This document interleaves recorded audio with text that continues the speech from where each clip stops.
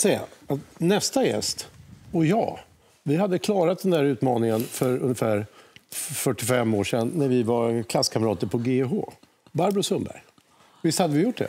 Absolut, Det Stefan. Vi var riktigt bra på den tiden. Ja, på den tiden är, är, är vad vi pratar Jag om. önskar vi hade kunnat använda den här tiden till att intervjua dig om vem Steffo Törnqvist var då. Men vi struntar i det nu, för du har Kan vi skrivit ta en väldigt annan intressant bok.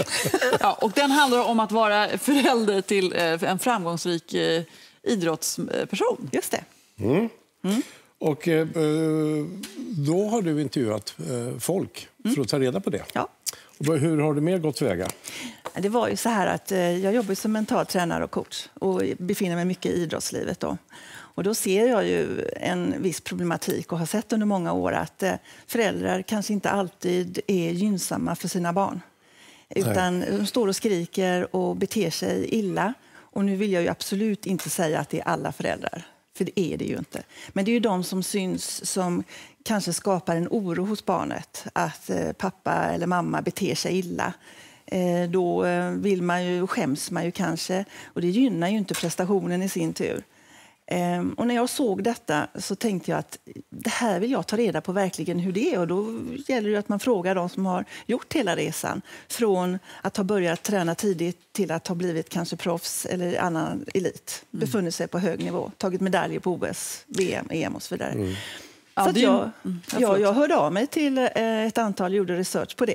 Så jag har med 18 stycken olika idrottare i boken. Kvinnor, män, unga, gamla, eh, sådana som håller på fortfarande och sådana som har slutat. Och frågat dem om deras resa. Fanns det några gemensamma nämnare? Absolut. Och det har jag ju sammanfattat på slutet. Och det var egentligen det jag trodde, eller det jag visste själv. För det har jag ju sett att ehm, att ha kul är ju den stora gemensamma nämnaren. Att verkligen ha roligt, att skapa glädje, trygghet eh, på, på eh, sin, i sin idrottsaktivitet. För det gynnar barnen. De tycker inte det är kul när en förälder blir ovän med domarna eller med tränaren eller står och skriker att de ska göra någonting som kanske är emot vad tränaren har sagt. Det funkar inte ändå. Det problemet är väl så stort så att rätt många klubbar har satt munkavle på föräldrar. Ja. Det finns faktiskt klubbar nu som skriver kontrakt med föräldrarna som går in i klubben eh, med att de ska hålla sig undan eller de ska ha en viss, ett visst beteende. Och det förstår jag. Eh, jag blir ju ofta eh, kontaktad via klubbar eller från klubbar som vill att jag kommer in och utbildar ungdomsledare eller, eller ledare överhuvudtaget. Därför att, och den största frågan brukar ofta vara hjälp oss hur vi ska bete oss mot föräldrarna. Hjälp oss. Och, ehm, Har det där förändrats under de senaste åren tycker du på något sätt? Alltså jag kan väl tycka att det kanske har blivit värre. Och um, vad det beror på, det kanske är att föräldrar många gånger vill satsa hårt. De kanske själva inte blev någon stjärna och tycker att nu ser de sin, sin eh, son, dotter som en kommande sån stjärna i, inom idrotten. Så att då vill man satsa allt och då tror man att man gör Jag tror inte att människor eller föräldrar vill barnen illa. Absolut inte. Men de kanske inte vet hur man var en gör. annan punkt som jag fastnade för när jag läste din bok här på, på dåligt föräldrabeteende. Och det var analysen direkt efter en match. Mm. Och gå in och säga att du borde ha gjort så och så. Mm. Det går bort. Det går bort. Varför Till då? förmån för... Till förmån för att istället, för att då analyserar du ju det som du gjorde fel. Och det är inte en bra sätt att agera på för att det som du analyserar, det som du fokuserar på, det växer, det blir större. Och när det blir större så kommer du att minnas felen mera än vad skulle jag ha gjort istället. Så det är ju en bättre fråga att ställa. Vad kunde du ha gjort istället för att eh, göra på det och det sättet?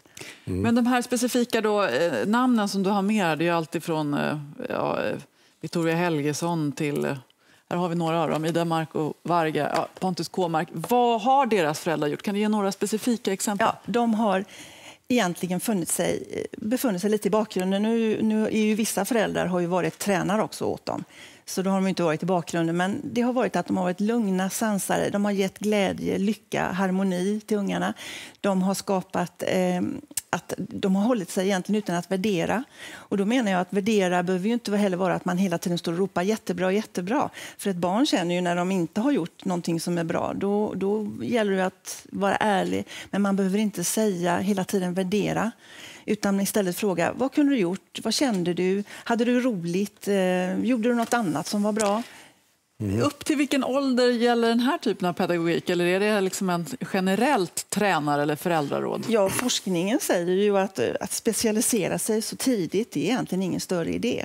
Utan det är bättre att man är mera multiidrottande, vilket ju också de här idrottsmännen alla säger att det var så bra för att på vintern så åkte jag skridskor och på sommaren spelade jag fotboll. Då får man, bygger man ju upp kroppen på ett mycket bättre sätt. Så att ehm, vi, vi behöver få ungdomar att... Så, tidigt ska de träna många saker. Men sen, när man 15-16, kan man börja specialisera sig lite mer. Det, det, finns, det finns jobbiga grejer gentemot det här också, typ Tiger Woods. Ja. Eh, som hade en jävligt jobbig farsa ja. Eh, som tvingade Tiger träna och han stod med grytlock och, och alltihopa. Och så blev han så bra. Ja. Eller hur? Ja.